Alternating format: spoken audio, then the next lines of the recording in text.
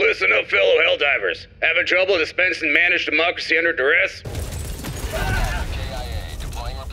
Well, head over to Corsair.com and equip a Scimitar Elite wireless MMO gaming mouse. With iCUE, you can create macros that bind up to 12 stratagems to your mouse's side buttons. Start by creating a new profile in iCUE and link it to the Helldivers 2 exe file. This way, the macros will only be active when you're playing the game. Now that that's sorted, we can start recording stratagem macros. Click on your Scimitar Elite wireless within iCUE and follow these steps. Go to Key Assignments. Press the plus button under Assignments and select the macro assignment type. Select the number button that you want to bind this macro to. Then go to the macro panel and make sure that delays and keyboard events are both active under the General tab.